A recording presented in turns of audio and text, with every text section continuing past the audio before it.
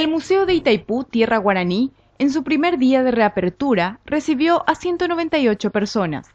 El renovado museo abrió sus puertas y entre los visitantes se destaca un grupo de la comunidad de los H de Puerto Barra. La Dirección de Coordinación de la Binacional habilitó la nueva apuesta museográfica con el eje temático Un paseo por el río Paraná a través del tiempo y la naturaleza. El objetivo es brindar al visitante una experiencia única con una apuesta museográfica educativa que atraiga al turismo interno y externo. El horario de atención es de martes a domingo de 8 a 17. El ingreso para grupos es máximo 25 personas por vez.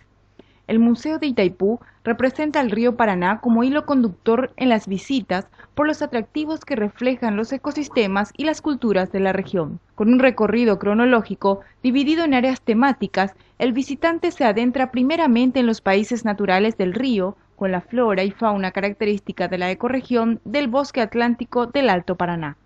A esto se suma la aparición de los primeros pobladores de la región evidenciada a través del material arqueológico en exposición, resultado de las investigaciones realizadas en el área de influencia desde 1975.